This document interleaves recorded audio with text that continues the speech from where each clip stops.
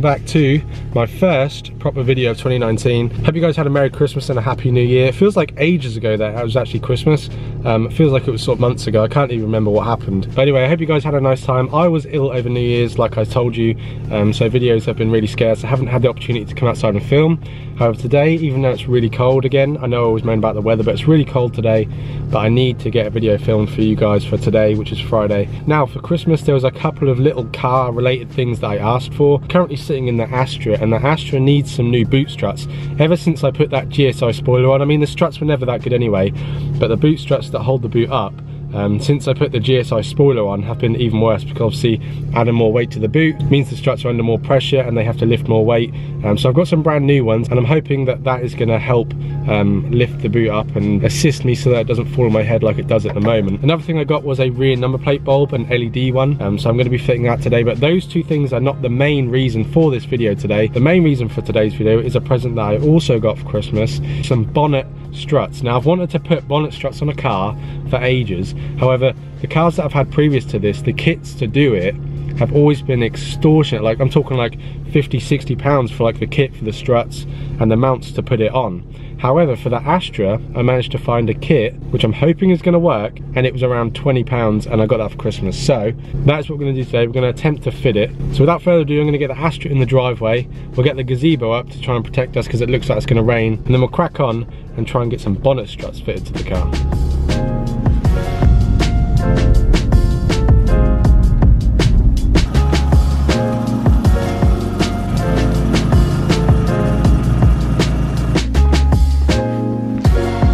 This is what we need. The gazebo's still out the back here from when I did uh, the painting of the table and that's still set up in the gazebo.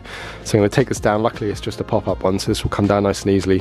To take it down, stick out the front um, and that'll give me some sort of protection from this what looks like is going to be rain.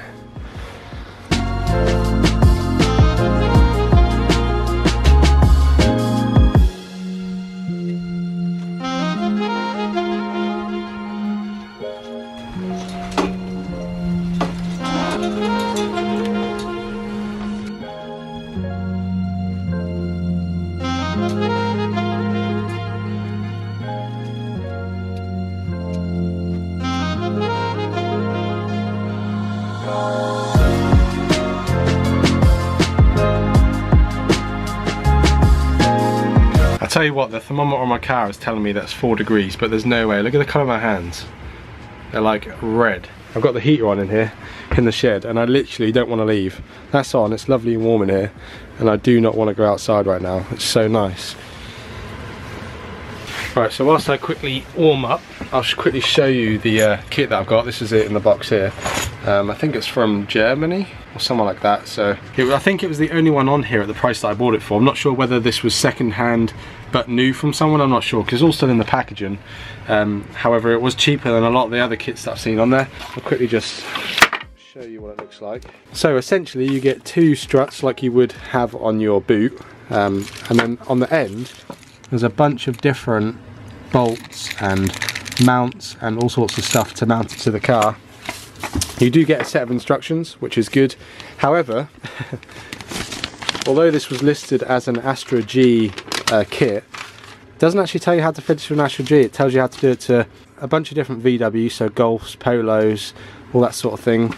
And then on this side we've got Opel Vectra, Corsa, A and B uh, and then you've got Astra F at the end here which I assume is probably going to be the one that I'm going to follow because it's probably similar but the even the instructions are not the most straightforward. However I'm just to take the mounts out of the bags have a look at what we've got um, see where they could actually go and then just try a couple of different things and see if we can get it to work.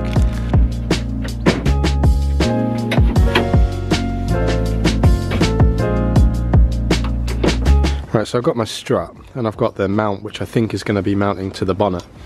I assume that they want you to mount it to maybe this bolt here or the lower one or this one, not entirely sure. Um, but I think that if I take one of these bolts out, that will mount to that and that'll be the top sorted.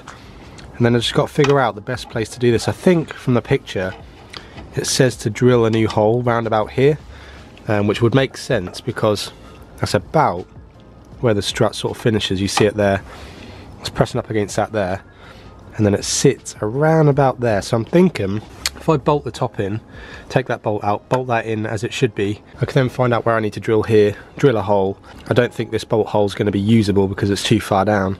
This hole is too far up, um, so I think I'm going to have to drill around about here, which is fine.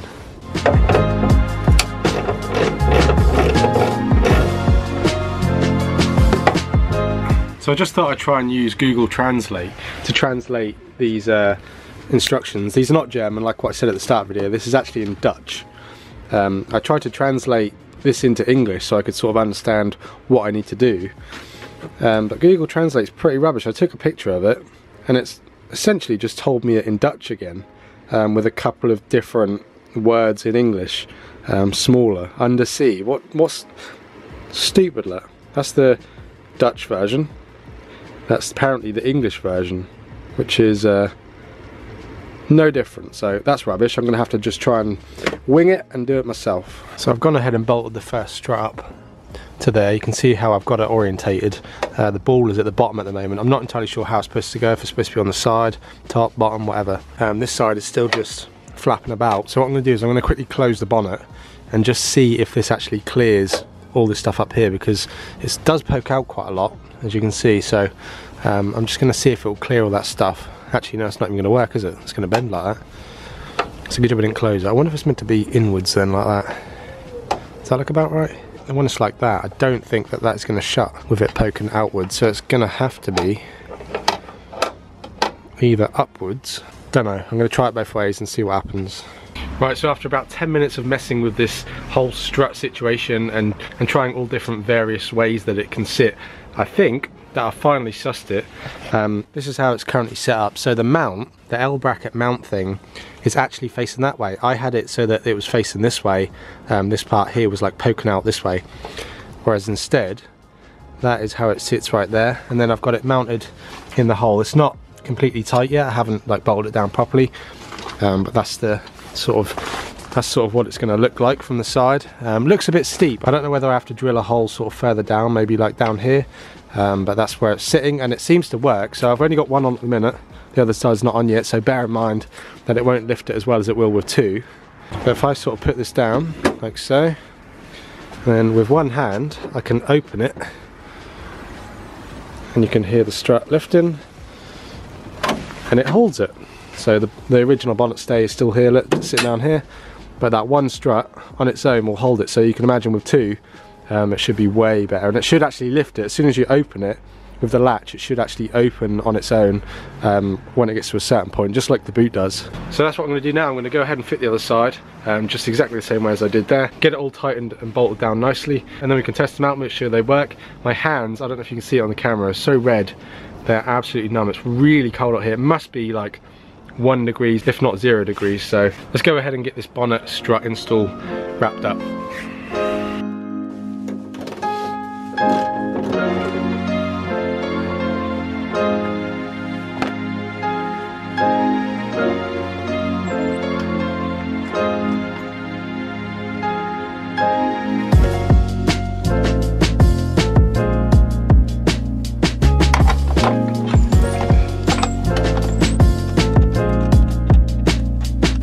So I think we are finally there. I think I've got both the bonnet struts now fitted as they should be.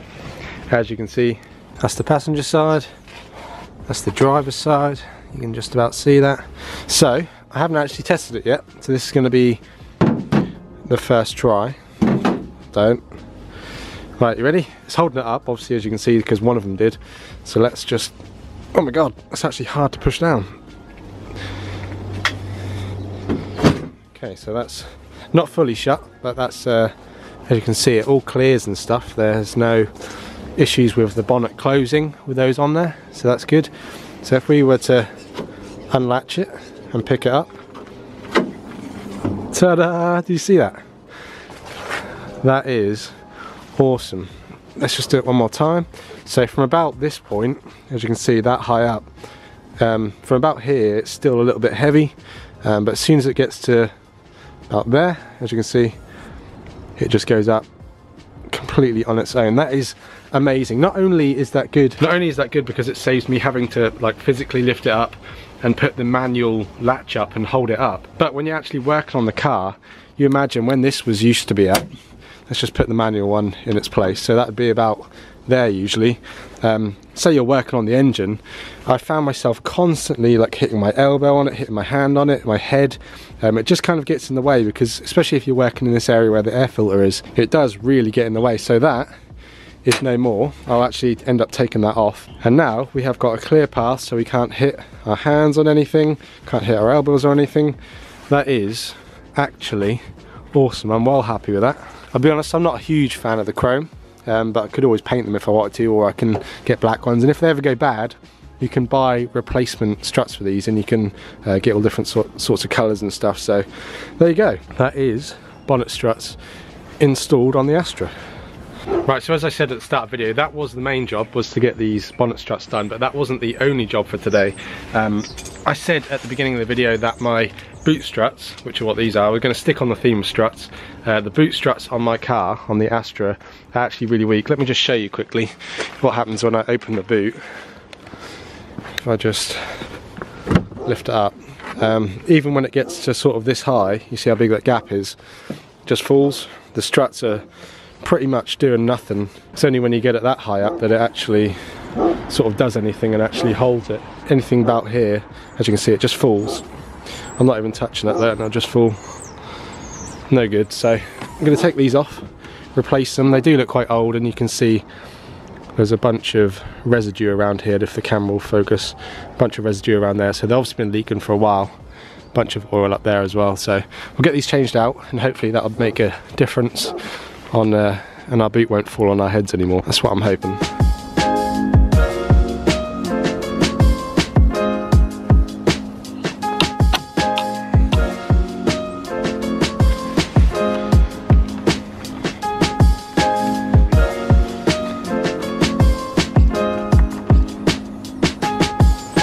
That's much better. It's not amazing because that wing, bear in mind that this spoiler um, it's not factory, so this spoiler should never be on there. And it is quite a heavy spoiler, you can see how chunky it is.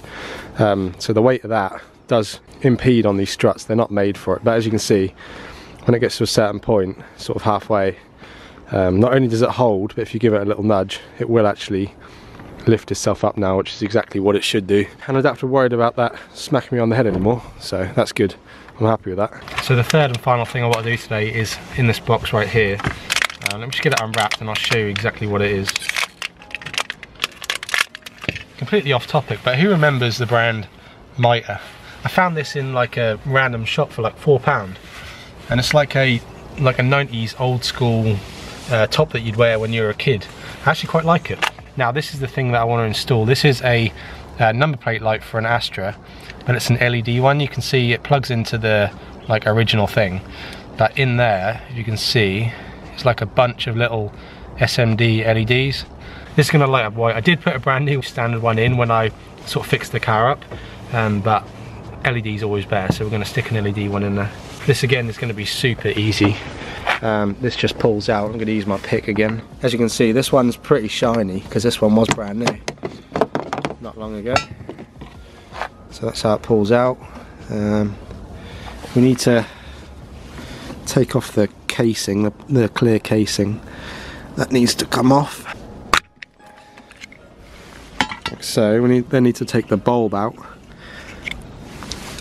And then this is pretty much just going to act as a bulb. That'll twist in as it should.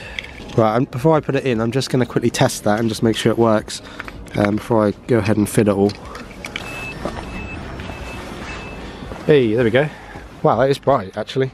Jesus. Nice, I like that.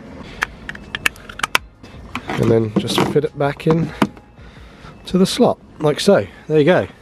That was a super quick install, like 30 seconds worth. Let me just turn my lights off so buzzing stops. There we go. Well, I'm going to clear up all my stuff now and then we'll wrap this video up.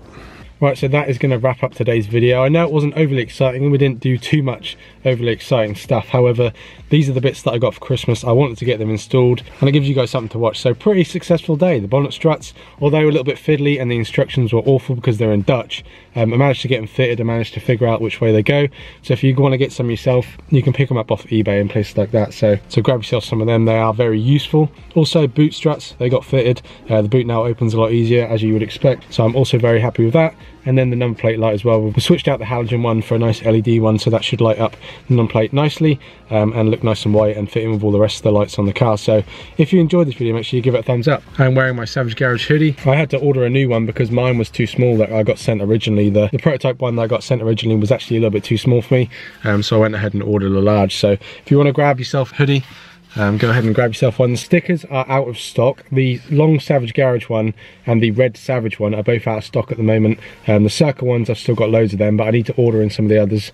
Um, so if you are waiting for any or if you're looking to order any, um, I'm going to get some in in the next week, so they'll be back up on the store for that.